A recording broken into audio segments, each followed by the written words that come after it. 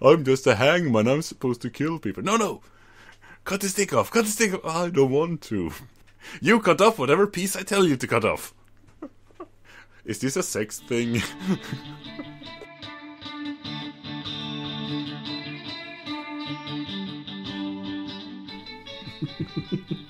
So I've got some uh, interesting stuff to listen to when I do the edit. You Yeah, we- leave we me a had little some- surprise, don't you? We had some linguistic questions for you, but you can get back to us. Yeah, yeah.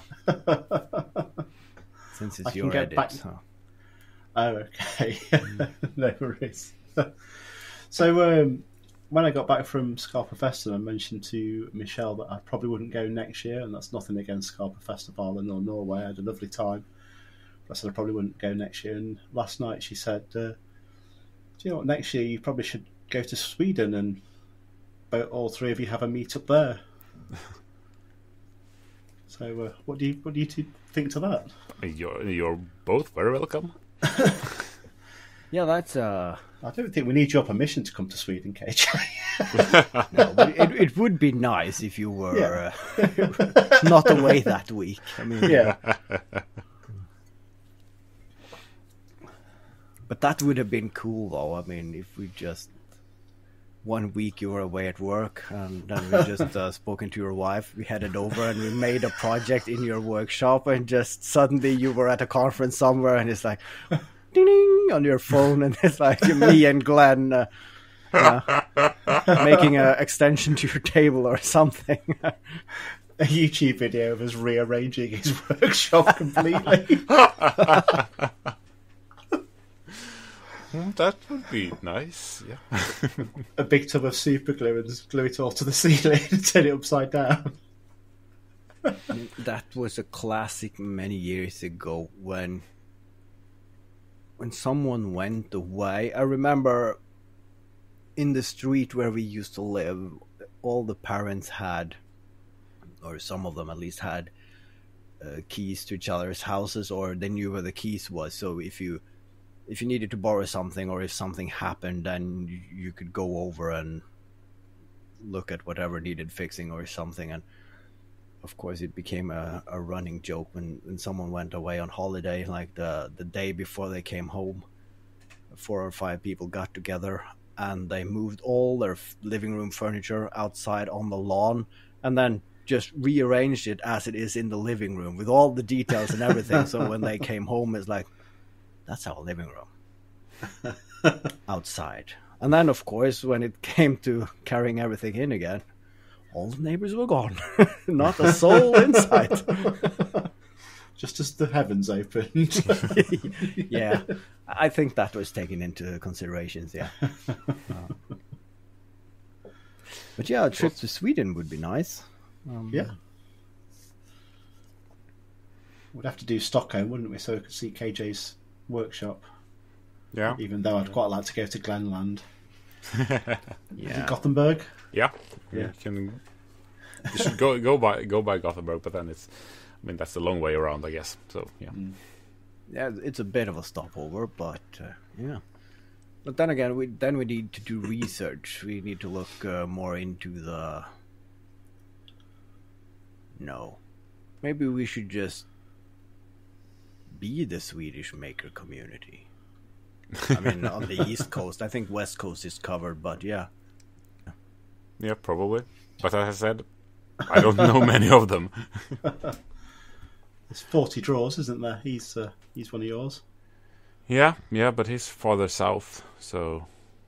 Uh, I mean, it's not extremely far away, but it, I mean, it's a Yeah. bit of a drive. Well, he was in he was in Norway the other week. That's a bit of a drive too. So. Yeah, yeah. yeah. That depends on what you what you mean by locally. I guess. As long as it's in Scandinavia, it's locally.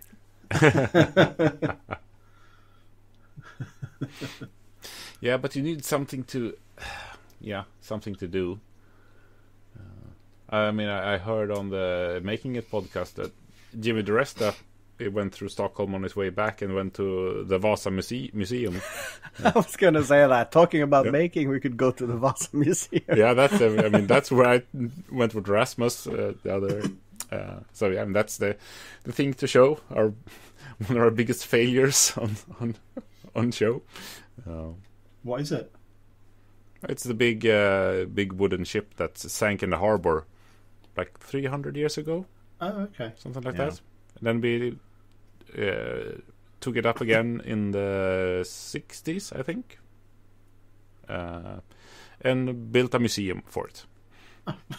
because it it was re- rather well preserved because Yeah. uh, the because of all the pollution I think in the Well, in the harbor. um, I I don't know much about the history, but I worked in the Norwegian Directorate for Cultural Heritage, and of course there is a lot of, uh, in all the the right senses of the words, some material wood nerds there, and I just tapped into whatever information I could get from any of them, and uh, we actually visited the Vasa Museum uh, at the work trip, and it, it's interesting because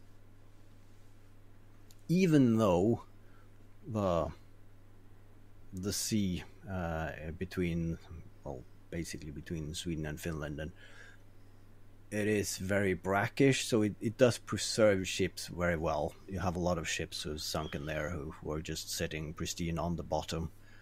Um, but once you get it up some of the processes start decaying and uh, it's like with the cannons and something that they pick up from uh, seawater. They have to put them in some uh, solution for several years to, to, to neutralize the process, and sometimes they, they can't really do it all the way through. And that's a bit the same with the Vasa ship as well, because in the beginning when they built this museum, you could actually go inside and, and see it, and of course at some point they just restricted the public to go in there because wear and tear, but now it's so fragile that you hardly can work there because the decaying processes are, are very much still going on. And one of the things that they do is that they, they coat it with something to prevent air from getting to it to slow down the processes. And i don't know the science behind it but at some point it still happens. So you have like the norwegian viking viking ships that's in the museum.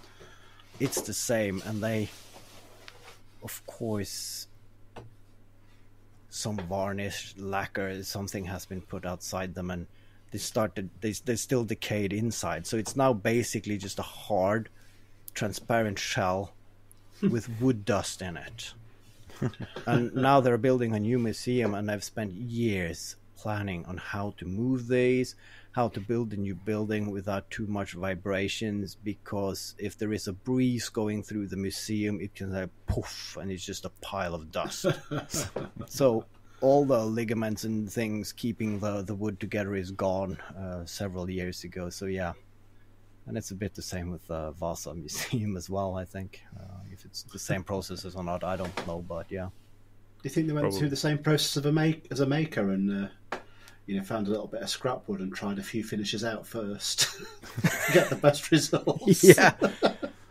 Got Rubio, Osmo, a bit of polyurethane. No, I, I, one of them had an affiliate link, so it's Rubio Monocoat. I mean, it's huge, so yeah, the, the kickback on that one. yeah, Probably bought himself a, a Festool uh, domino for those money.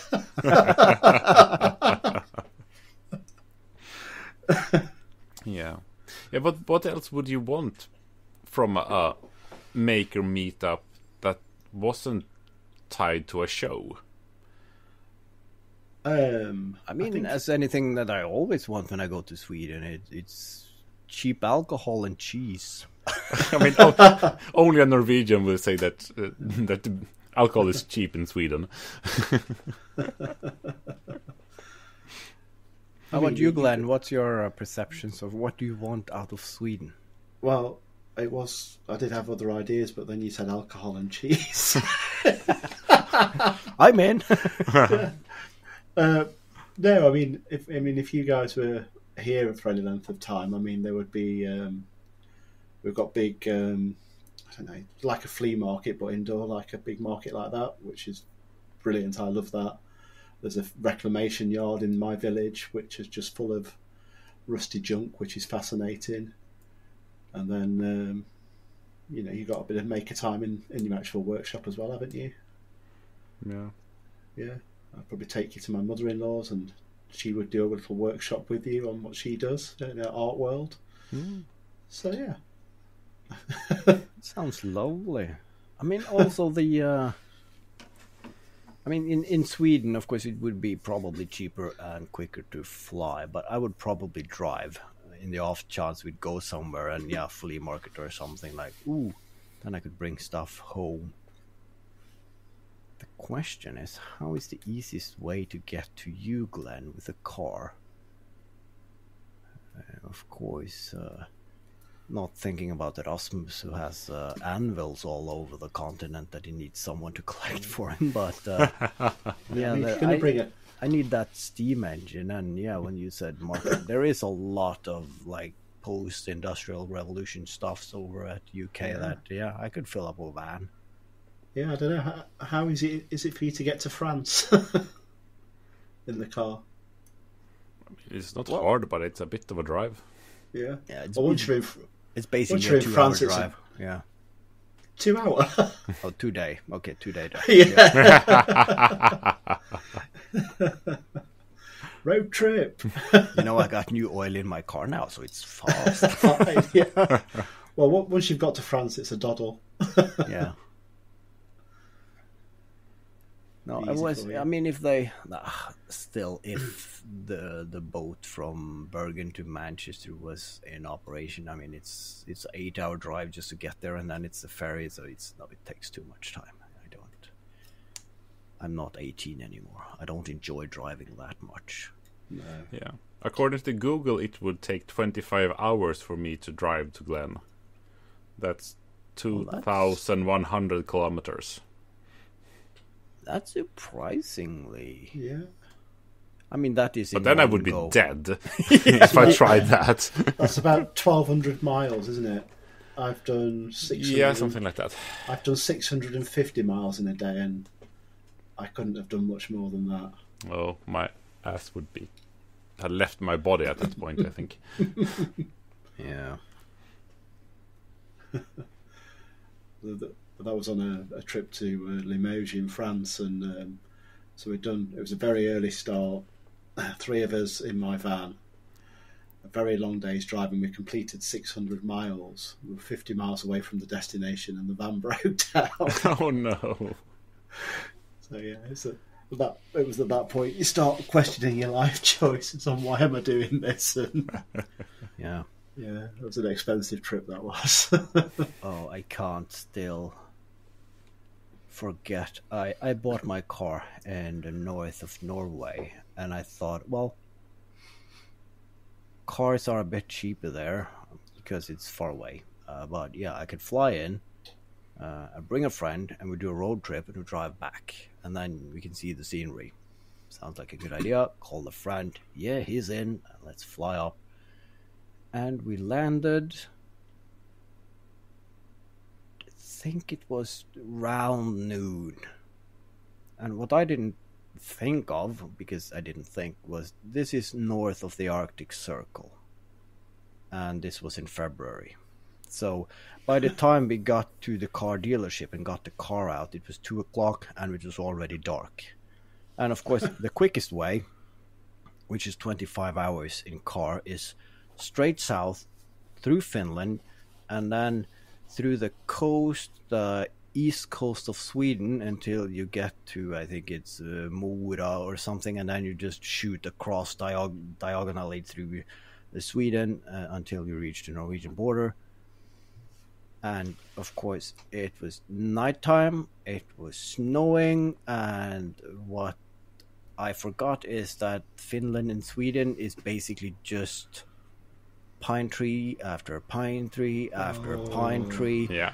So you're just driving, and of course that snow that you can't have your. Uh, yeah, I, I- I mean, if you have your uh, headlights on, you get blinded by that. So you turn the headlights down as far as you can, but you can't really go that fast because you can't see anything, and it's wood, wood, wood, wood, and then of course massive trailers just coming plowing towards you out of nowhere. So it was a nerve wracking 25 hours. so never doing that again.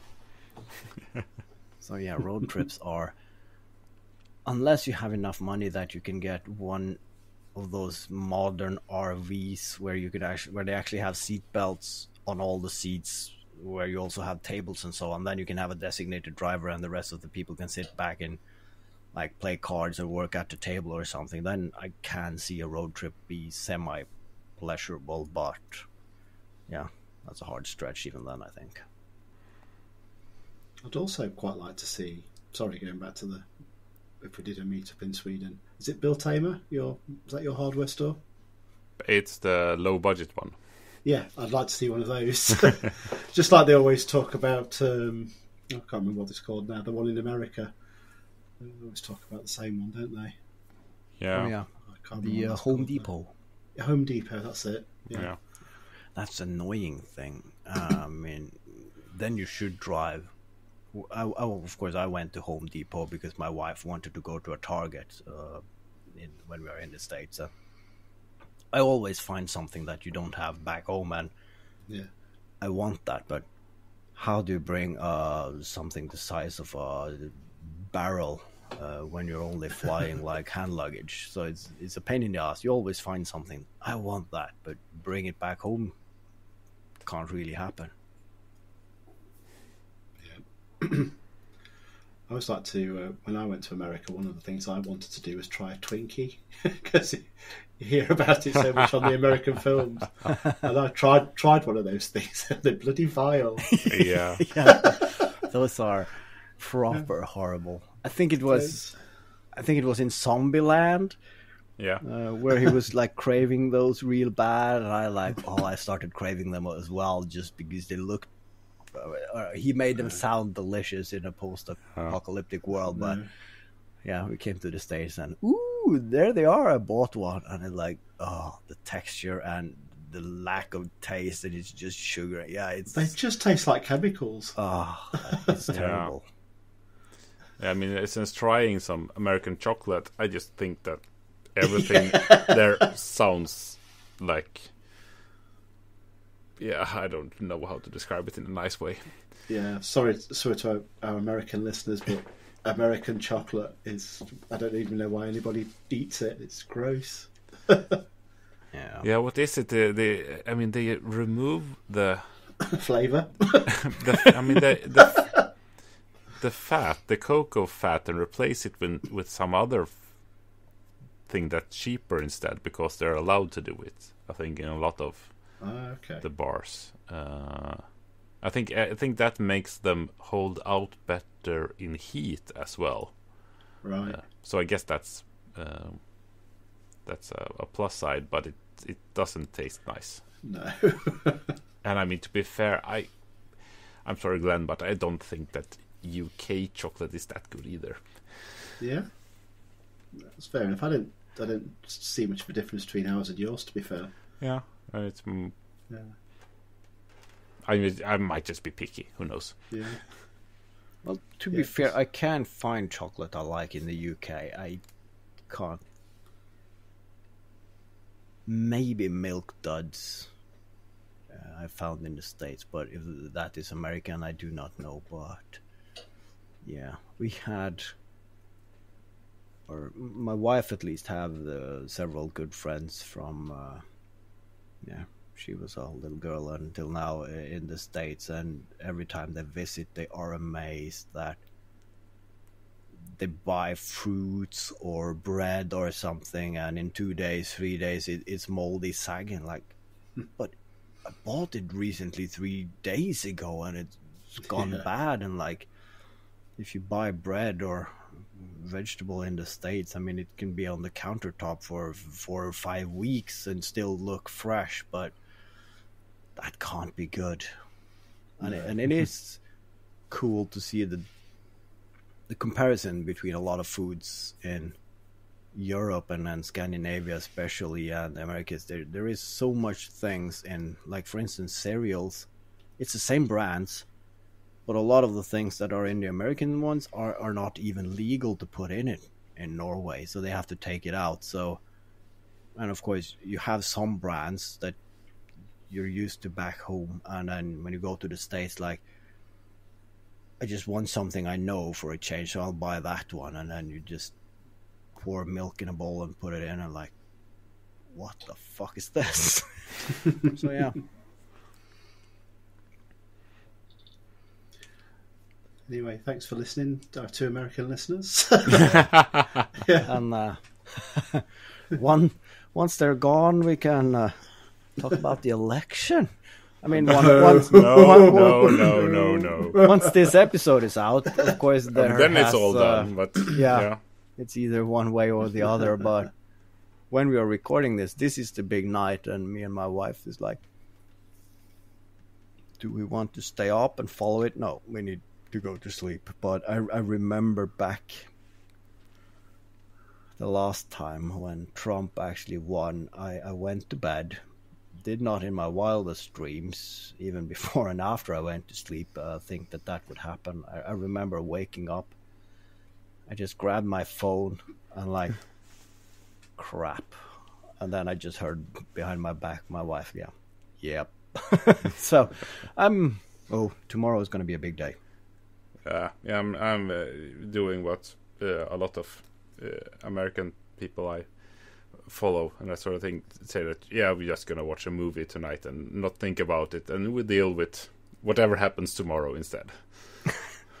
and Yeah. and and all the the um, the election thing would be done with in six months or so. So then it's all business as usual again. Yeah. So, on that note, you can uh, cho- choose the the number one crude mistakes, uh, endorse the movie choice of the night. You can go and watch The Highlander. I really want to watch it now. yeah, me too. Me too. I don't remember when. It was ages since I since I saw it. It feels it's worth like it just for the Queen soundtrack, isn't it? yeah. I, I Yeah. mean, to think that I think we thought talked about this before, but that they made the movie first, and then Queen actually watched it. And, yeah, we got the we got the soundtrack covered, and then they added the music afterwards. Because think of how boring that thing was have been Yeah. to watch without the soundtrack. Yeah. It's like watching a woodworking video without sound, isn't it? yeah, it, it must have been really, yeah. I'm not sure what the the song was called, but uh, I mean, with the lyric "Princes of the Universe," it's it's very much Yeah, it's an awesome song, but it, it's obvious that it's it's written for a movie to follow along a plot line because as a song it, it feels a bit all over the place, but still it's I mean it's Queen. It, it you can't really they should be all over the place. yeah yeah. yeah. I mean, they also the the the really wonderfully terrible Flash Gordon movie uh, also have the Ki- Queen soundtrack, which Yeah. also makes it great. that is all. Yeah, that is That's, also that's just great nice anyway. song. Yeah, I, I I have a soft spot for that movie, and it's And the sound It's- effects is basically like the, the the thunder and lightning. I think it's someone just striking a, a piece of metal plate or something like. oh, brilliant! it's, ah, it's wonderful. I haven't seen the movie though. I just heard the song, so that that's weird. I, I, it's- You've I- never seen Flash? no. It's great. I mean, I, I saw it as a as a young kid and fell in love with it immediately. But I mean, it, they have some. I mean, they have Max von Sydow and uh, Timothy Dalton. I mean, really good actors. Yeah. And then they have the the guy playing Vultan, which is like a more like an opera guy, has really bombastic, larger than life. And then they have some extremely terrible actors. People who should never be anywhere close to acting because but, but they look good.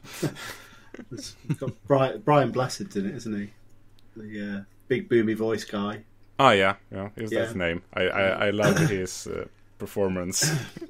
He's a he's a he's famous. He's a complete boaster and liar, but you know famous for it. So he claimed he climbed, uh, climbed Mount Everest and all sorts of stuff. He's still going, still going strong. and then as a kid, when uh, Flash Gordon came out as well, one of the actors, um, we have a, a kids series here called Blue Peter. Okay, I haven't heard of it. Oh, No. okay. It's just a they, they they they do a little bit of making in that, and it's just a little bit current affairs for kids, basically. But I think the act, uh, the person who hosted that, Peter Duncan, was also in Flash Gordon, so that en- endeared a lot of the kids to watch it as well. I think. but yeah, interesting film. yeah. I don't think they'd ever make anything like that again. No, and I mean all the practical effects and Yeah. it's it's wonderful. it's it's funny those uh, those movies that you watch uh, as a kid that really sticks with you, and you can't. I mean, you can see that all things wrong with them, but you see it with rose tinted glasses, and you can't yeah. can't really fault it for being bad because you love it. Imagine there's such a thing as a, a, a maker village. So there's a, a lot there's a lot of makers together who live close together. But do you think you'd go off the making and start making low budget films after a while? The temptation has got to be there, hasn't it? Yeah, I mean it. the, the only thing stopping me from from doing that in the first place was not having a a cast and a, a crew to Yeah. actually actually do it because yeah The maker community, the musical. Maybe that's the thing. If uh, if we do the Sweden make meetup, maybe we'll just make a, a half hour long low budget movie. Midsummer too.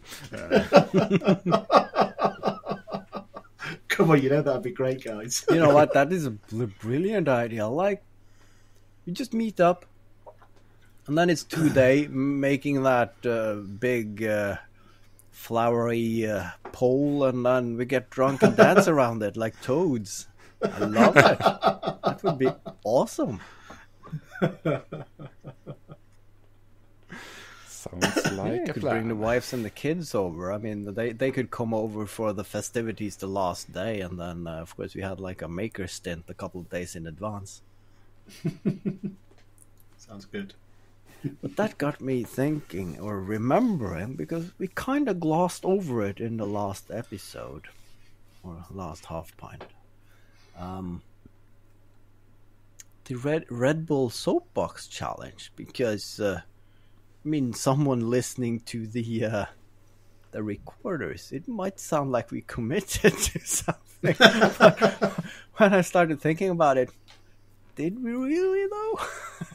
Does somebody comment? no. No. So, um, I mean, if you want to, you can cut this out and you can just never mention it again.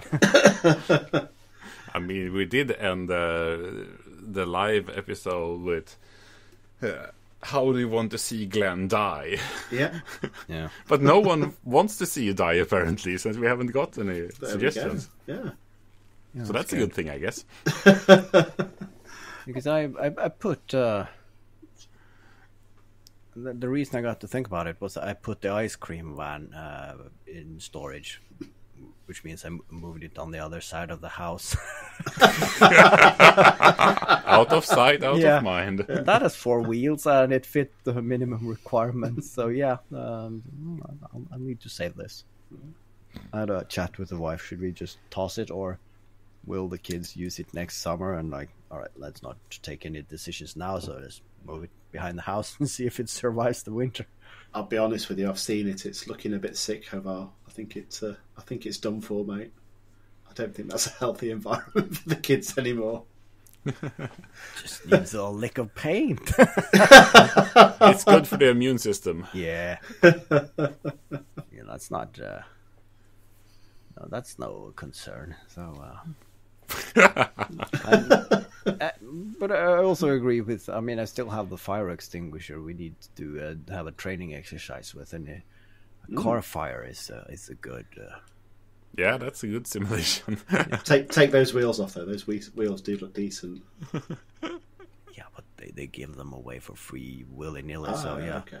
I'll burn them. because they add they add to the the illusion of it being decently put together. so uh, I mean, the, the axles doesn't protrude enough for the locking mechanism to like latch on enough. So if you try to move it too much, then every once in a while a wheel pops off and you have to smack it back on again. So yeah, it's it's not drivable per se.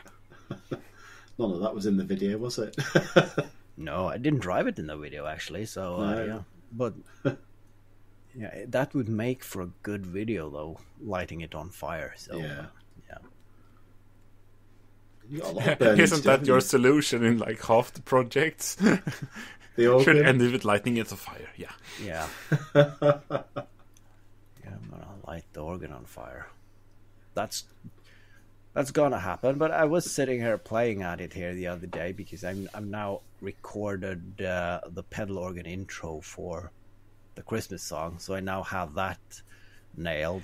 Um, still haven't decided if I should play some outro plinkety plonkety sounds on it. But, yeah, it, it's ready to be burned. So uh, yeah, Nice. that's happening. If you'd if you'd lived here, that would have been tonight. It's bonfire night here tonight. Yeah, I saw that. That's brilliant. yeah. Uh, the, the, the thing, though, I, I'm hoping that will be the last Yeah. video of the videos. So I'm hoping to stretch that. I.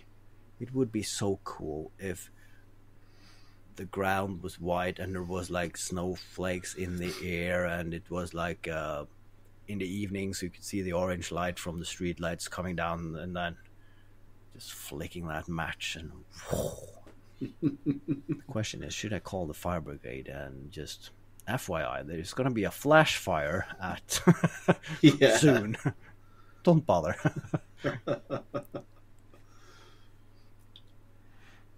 Could um, give it the same send off that they planned for Guy Fawkes.